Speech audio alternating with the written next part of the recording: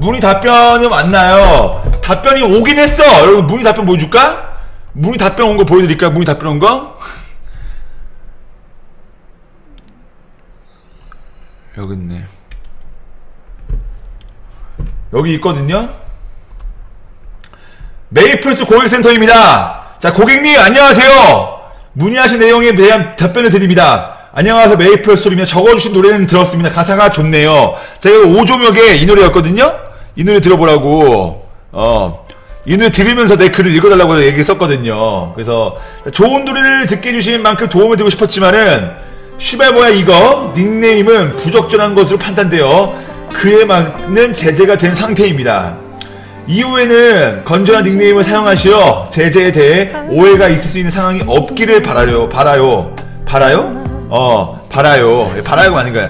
자, 그래서 정상적으로 적용은 제재를 중도에 제하는 것은 불가하니 답변을 보고 너무 실망하지 않으셨으면 합니다. 감사합니다. 네, 라고 왔어요.